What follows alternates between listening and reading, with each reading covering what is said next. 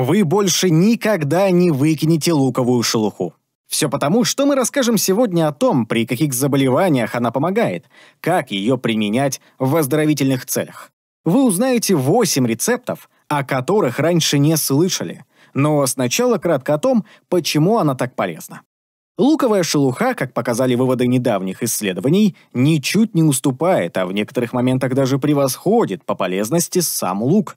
Об этих исследованиях ничего не знали наши предки, но с самых давних времен использовали шелуху для излечения самых разных заболеваний.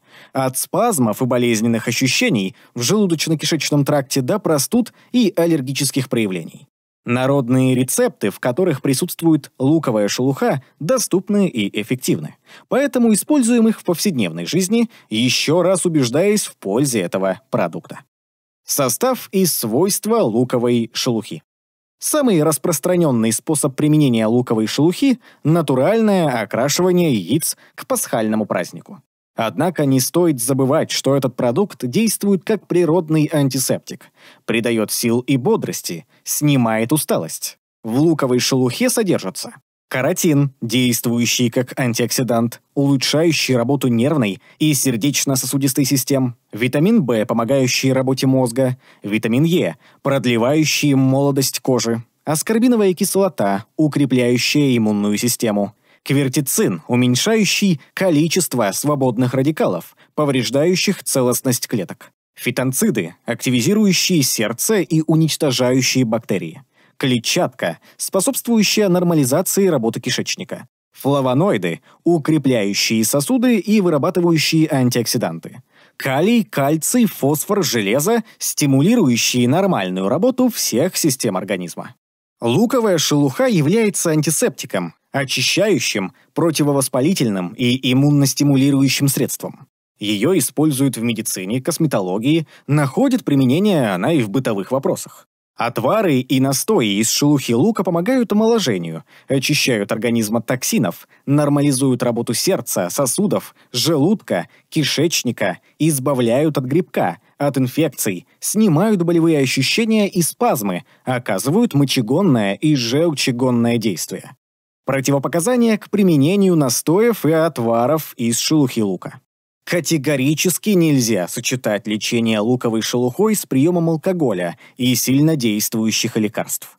Не рекомендуется использовать ее беременным женщинам и молодым мамам с детьми на грудном вскармливании, а также детям, не достигшим 12-летнего возраста.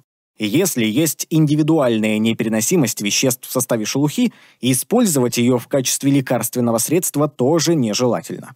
Вред продукт может нанести тем, у кого обострение заболеваний кишечника, желудка, поджелудочной железы, у кого повышена свертываемость крови. И не забываем обращаться к врачу, чтобы посоветоваться с ним о таком виде терапии, как лечение отварами и настоями из луковой шелухи. Это очень важно для здоровья. 8 рецептов с применением луковой шелухи. Естественно, сама сухая шелуха не приносит никакой пользы, поскольку полезные вещества, содержащиеся в ней, нужно активировать с помощью воды или масла. Рецепты против сухого кашля. Водный настой из луковой шелухи помогает при простудных заболеваниях, избавляет от кашля. Для этого берем 2 столовых ложки предварительно измельченной шелухи лука, Заливаем одним стаканом кипятка и варим смесь на медленном огне 15 минут. После этого даем настояться в течение 6 часов и процеживаем настой. Добавляем туда половину чайной ложки меда, перемешиваем и пьем по полстакана три раза в день перед приемом пищи. На начальной стадии заболевания хорошо помогают компрессы. Их делают из оставшейся после настоя шелухи. Кладут на область грудной клетки, накрывают пленкой и закрывают теплой тканью для сохранения тепла. Лежать с компрессом рекомендуется не менее 30-40 минут. Еще один эффективный способ – ингаляция над отваром из луковой шелухи. Дышим паром не менее 5-7 минут. Рецепт для снижения давления. Каротин, содержащийся в шелухе репчатого лука, способен оказывать восстанавливающее действие на сосуды и сердце. При гипертонии, резком увеличении кровяного давления лучше принимать спиртовые настои с шелухой, а для профилактики применяют отвар из нее.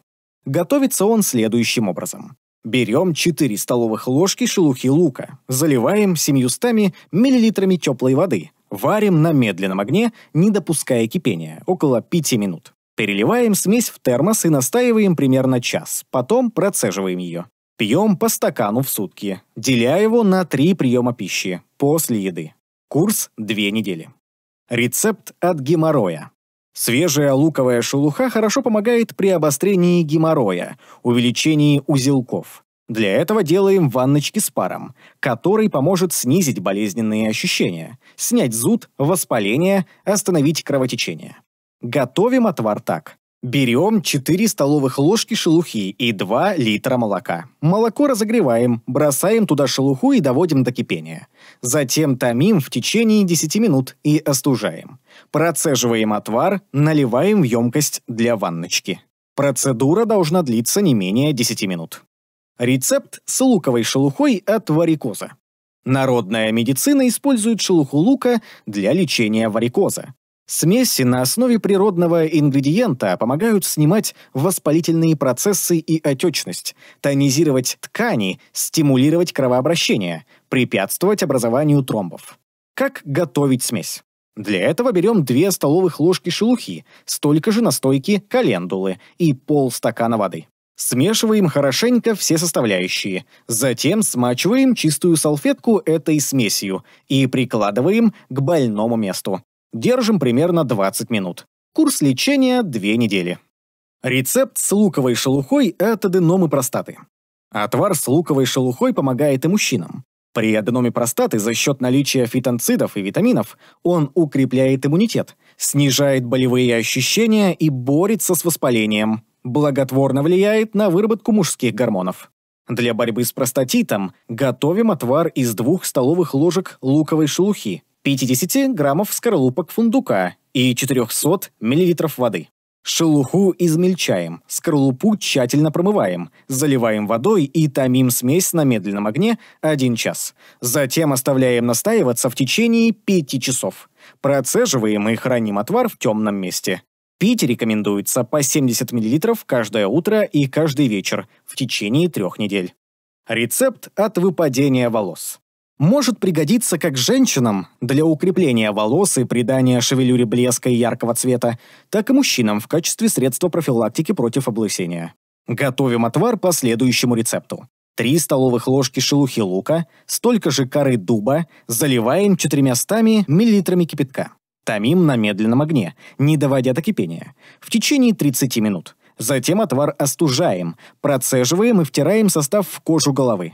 Закутываем голову полотенцем на 30 минут, затем хорошенько промываем волосы. Делаем такие маски для волос один-два раза в неделю. Рецепт для похудения. Вещества в составе луковой шелухи активно выводят токсины из организма, улучшают метаболизм и способствуют избавлению от лишних килограммов.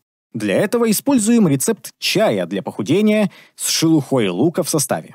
Как его приготовить? Берем одну столовую ложку шелухи, измельчаем ее до порошкообразного состояния, заливаем половиной литра кипятка и добавляем пол-литра черного чая. Нужно протомить отвар в течение 15-20 минут, затем остудить и процедить. Пьем по одному стакану 2-3 раза в день до достижения нужного эффекта. Друзья, а вы выбрасываете луковую шелуху или находите ей применение? Поделитесь своим опытом в комментариях. Ну а мы благодарим вас за внимание. Крепкого вам здоровья и хорошего настроения.